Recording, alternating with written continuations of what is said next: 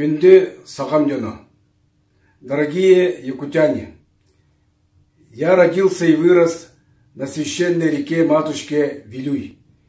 И поэтому с особой болью в сердце воспринял известие об экологической катастрофе на родной реке Вилюй. Считаю, что беда произошла по вине чиновников. Прежде всего чиновников руководства акционерной компании «Алроса», руководство Министерства охраны природы Республики Саха-Якутия.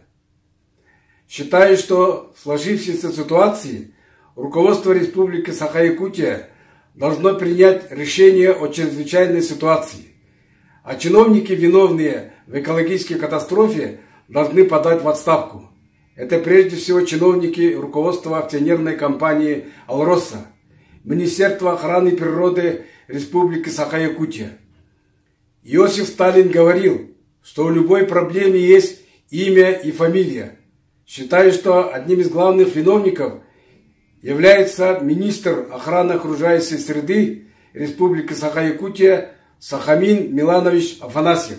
Он должен уйти в отставку.